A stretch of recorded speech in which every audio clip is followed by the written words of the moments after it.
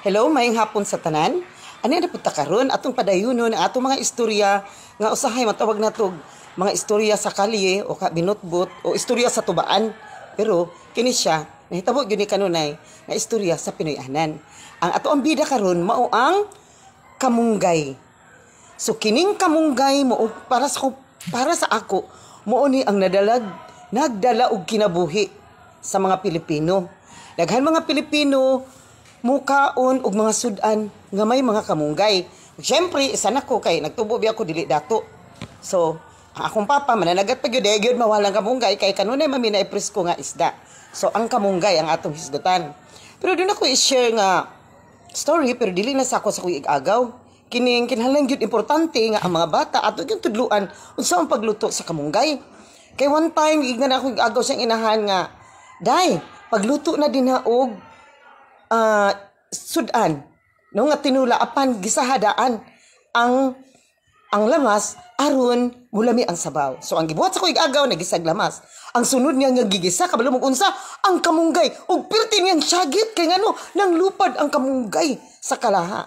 So di ba kalingaw. So dapat bisag pinaka ordinary ni nga utan nara sa atong tugaran kung mananumpod ta kinahanglan atong tuluan ang atong mga anak nga unsaon pag-prepare ang kamunggay. So dapat taas og pailob kay ngano. Lami ra ba kay ang sabaw ani? Ang problema lang ani kay ang paghagpat dugay. So i-train ng mga bata nato aron maanad sila og dili sila laayan nga maghagpat og kamunggay. So kining kamunggay daghan po ni siya dala. Gawas nga makapalami ni sa atong sudan labi nag naay bisayang manok o in English nga manok ang ang buhaton na gyud ana ayo gyud ipalayo ang kamunggay sa mao nga sudan nga tinulang nga manok bisaya o kana mga mga manok nagpalit nato sa market sa merkado. So naay kamunggay dungagan pa gyud natog panglad ug uban nga lamas sama saluy a kamatis ug sibuyas ug usab. Ato sab dungagan og dahon sa sili kay lamig ayo na ang sabaw no? So ang kapobrehon dili mahimong problema. Kay ngano Nay kamunggay kanunay. Pwede ra pud ta magluto og kamunggay. Diri sa eskwelahan, luto mi og kamunggay, harvest mi og tinangkong, alugbati, ako man ang tigluto. Lamasan na namo na og tanglad. Timplahan na dayon og gamay sugar ug asin. Mauna dayon ang among ipambahog. Mga teachers nga maniudto. Lami na kay paningto na kaimi og dagko niya. Lami pa kay mong kaon kay ngano umot kay ang sabaw sa kamunggay. Hulgan na namog atong balo na mga isda nga giprito. O di ba? Save na ang paniudto kaysa magpalit og mahal kaayo dili na madato ana. Ug dili ta katipid. Labi na sa sweldo sa mga teachers ang saligan. So inana lang akong buhat. Musud an og kamunggay. Usahay dali walay lamas. Basta kay naalay tanglad. Iko na. Pakasudan ni unya kini pong kamunggay gawas nga sudan ni pwede pod ni nato himuon nga tambal. Sakit ang taog. Diyan, dokdokon lang ni ay. Dayon imnon pugan og gamay nga limonsito nakasulay na ko ana ba.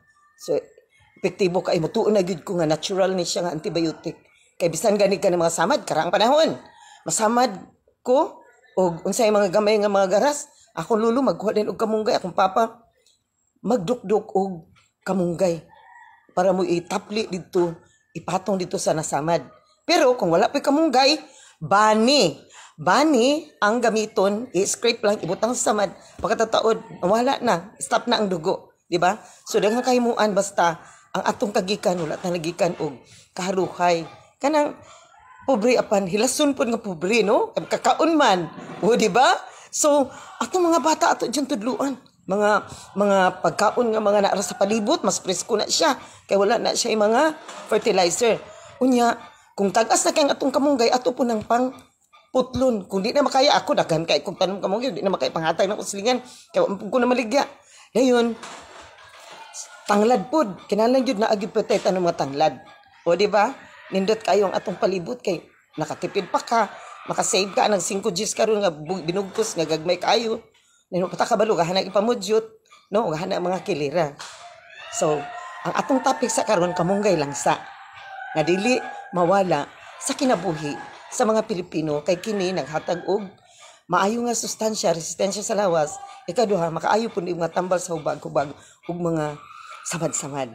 Bye bye see you for another issue